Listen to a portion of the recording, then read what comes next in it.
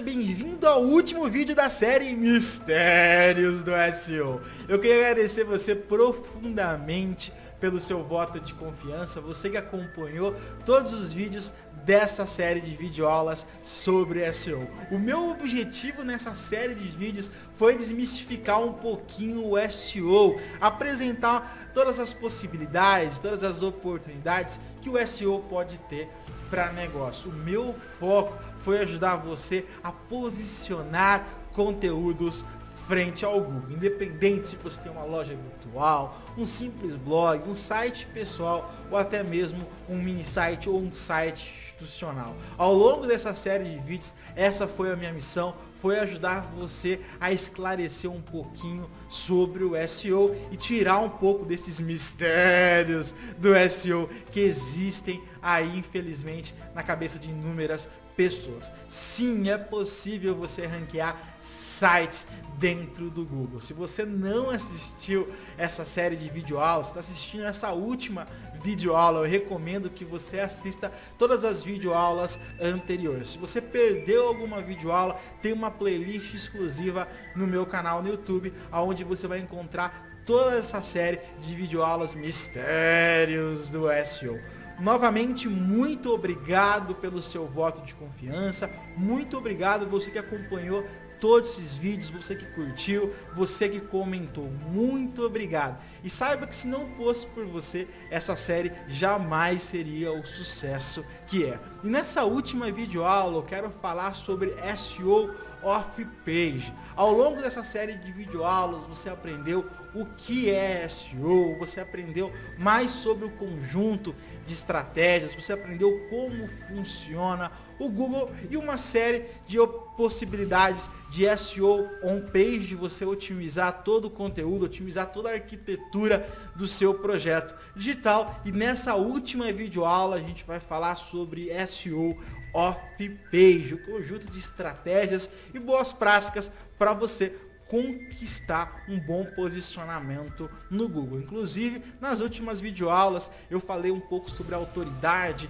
no domínio, a autoridade de uma página e o PageRank. Se você perdeu essas videoaulas, eu recomendo você ir lá na playlist e assistir passo a passo tudo que eu compartilhei nessa série de videoaulas Mistérios do SEO. E nessa videoaula de hoje a gente vai falar um pouquinho do conjunto de estratégias do SEO off-page. Então eu vou compartilhar aqui a tela do meu computador para a gente começar essa última videoaula. Aproveita, deixa aí o seu like no YouTube, deixa aí seus comentários, compartilhe essa série de videoaulas sobre SEO com seus amigos ou com as pessoas que trabalham próximo a você. Então vem comigo no meu computador para você conhecer um pouquinho sobre essas estratégias de SEO off-page. Se você perdeu alguma videoaula e principalmente a aula que eu expliquei sobre SEO on-page, eu recomendo você pausar essa videoaula e assistir as videoaulas anteriores. Então vamos começar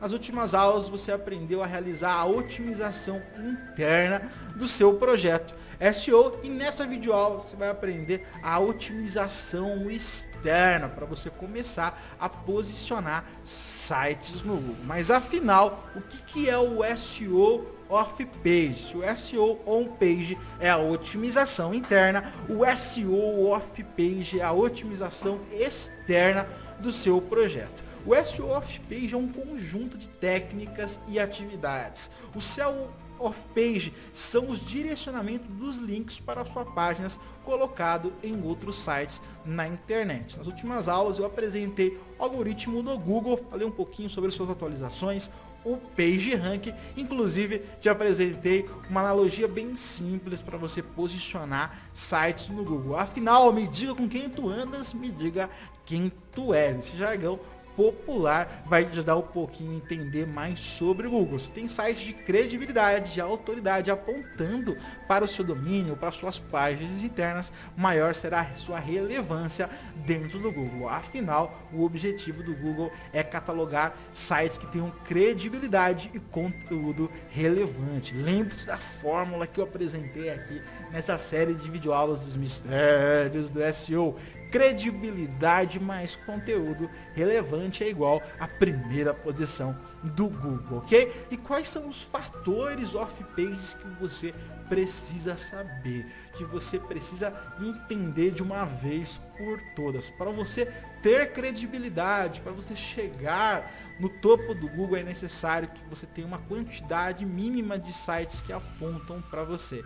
Sites que possuam credibilidade. Isso mesmo, você precisa ter qualidade e quantidade de links apontando para o seu projeto. Lembrando que você precisa ter endereços de IPs específicos, sites diferentes apontando para você. Se você tiver isso, você logo chegará no topo do Google. E é necessário que você, além disso, de você conquistar backlinks, que você conheça os principais fatores de ranqueamento do Google. Resolvi fazer um gráfico para ficar bem fácil essa videoaula para você entender quais são os fatores de 100% do Google que vão te levar no topo. Isso mesmo. Para você ter aí um bom ranqueamento é necessário que você entenda esses fatores de ranqueamento. O primeiro fator é a idade do seu domínio. O Google prioriza sites que já têm um tempo de projeto, que já tem um tempo de vídeo. Então isso é um primeiro fator que eu quero apresentar aqui para você, que equivale a 1% do fator de ranqueamento de chegar no topo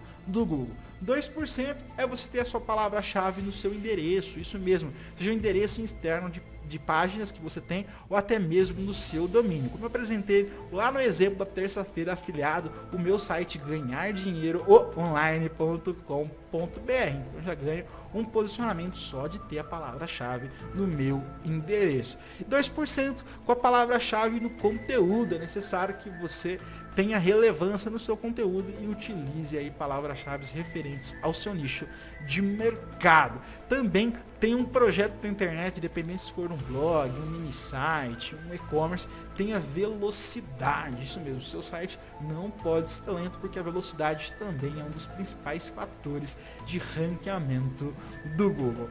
O próximo fator é o conteúdo relevante. Isso mesmo, você precisa ter um conteúdo relevante às pessoas, relevante ao seu público-alvo. Afinal, se você quer chegar no topo do Google, é necessário que você tenha um conteúdo compartilhado na internet. O próximo fator, 5% aí dos 100 que você vai chegar no topo, é você ter sinais sociais. Afinal, qual é a quantidade de pessoas que compartilharam o seu conteúdo, que retweetaram no Twitter, que compartilharam no LinkedIn, no Instagram, no Pinterest. É importante que você realize a sua sindicância social. Compartilhe seu conteúdo na internet. O próximo fator é a experiência do usuário. Você precisa ter um site navegável. Muita gente quer ganhar dinheiro online, quer posicionar sites na internet, não tem um site navegável. Afinal, quais são é, as pessoas que vão acessar o seu site. Independente se for uma pessoa de 80 anos ou uma pessoa de 14 anos, é necessário que você traga experiência, que seja fácil acessar o seu site, tanto para localizar conteúdo quanto para realizar pesquisas. E seu site também precisa ter acesso mobile. Isso mesmo, você precisa fornecer o seu conteúdo para dispositivos móveis, como smartphone e tablet. Outra porcentagem importante é o SEO on page. Isso mesmo, a otimização interna do seu conteúdo. Se você não assistiu às aulas sobre SEO on page, eu recomendo que você assista. O próximo fator importante de ranqueamento é a otimização dos títulos. É necessário que você tenha a palavra-chave nos seus títulos, não só apenas no conteúdo. Então esse é um dos principais fatores de ranqueamento. Um dos principais fatores também é a quantidade de links, que envolve 30% aqui do nosso gráfico. Afinal, quantos backlinks de credibilidade e autoridade apontam para o seu site. E o principal de tudo é a frequência do conteúdo. O adora mini sites, adora e-commerce, adora blogs, estão sempre atualizados. Então, esses são os principais fatores de ranqueamento que você precisa conhecer para poder otimizar conteúdo no Google. Agora que você conheceu um pouquinho sobre SEO off-page, eu quero te apresentar o ciclo dourado do SEO. Isso mesmo, círculo dourado para você que vai fazer SEO off-page. É um conjunto de ação que se você fizer, eu tenho certeza que você vai ter ótimos resultados. Se o SEO on-page é o conjunto de técnicas para otimização interna, o SEO off-page é o conjunto de técnicas para otimização externa do seu projeto digital. E eu separei aqui um conjunto de atividades para ajudar você a aplicar essa estratégia SEO off-page, que eu chamo círculo dourado, o círculo de ouro do SEO. Se você fizer isso, tenho certeza que você vai criar um círculo de credibilidade e um ciclo de ouro para o seu projeto digital. Então vem comigo na minha tela que eu vou te apresentar em detalhes essa possibilidade e o circo dourado e lucrativo do SEO off-page. Mas é importante você ter entendido os principais fatores do SEO off-page e o que é SEO off-page, que nada mais é que a otimização externa do seu projeto digital. Então vamos lá para o Círculo Dourado para você conhecer as principais ações que eu recomendo para você realizar para desenvolver um bom SEO off-page, que é esse conjunto de estratégias externas do seu site. Então esse círculo se resume em você produzir conteúdos compartilháveis. Isso mesmo, produza conteúdo que as pessoas são apaixonadas. Eu recomendo que você produza conteúdo acima de 550 caracteres e até mesmo acima de 2.000 caracteres, mais de 5 páginas no Word. Produza um conteúdo relevante, um conteúdo que as pessoas vão gostar e vão comentar. Um conteúdo mínimo é de 350 caracteres, ou melhor dizendo, palavras, um mínimo para você ser compartilhável na internet. Compartilhe diariamente, você que tem um blog, você tem uma loja virtual, o seu conteúdo nas redes sociais. Afinal, os sinais sociais são um dos principais fatores de ranqueamento do Google. Disponibilize no seu projeto digitais botões de compartilhamento. Isso mesmo, possibilite que as pessoas, além de você, compartilhe conteúdo na internet. Comente em blogs, em fóruns do seu nicho de mercado. Isso mesmo, participe. Afinal, cada comentário que você faz é um novo backlink para o seu site. E escreva a Guest Post, seja visitante, isso mesmo.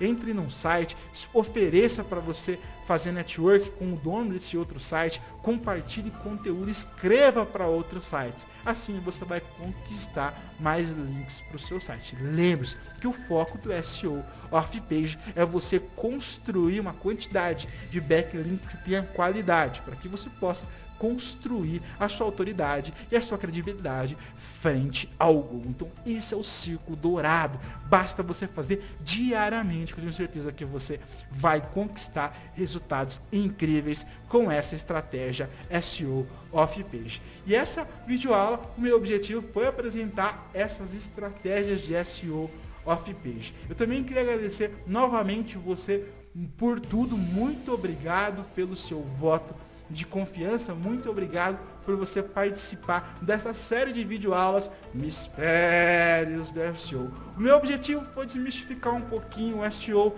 e trazer o básico para você chegar nas primeiras posições do Google. Muito obrigado novamente pelo seu voto de confiança. Aproveita, deixe seus comentários, deixa seu like, compartilha esse vídeo nas suas redes sociais para me ajudar a ajudar um pouquinho o meu canal. Que o meu foco nessa série foi te esclarecer um pouquinho e tirar um pouco desses mistérios do SEO. O meu objetivo nessa aula foi apresentar essas estratégias SEO off-page. Então lembre-se do Círculo Dourado, é apenas você aplicar e otimizar e seguir todo esse roteiro de videoaulas que eu tenho certeza que você vai conquistar resultados. Muito obrigado, a gente se vê na próxima série de videoaulas. Meu nome é Bruno Marinho, rumo ao topo e até mais!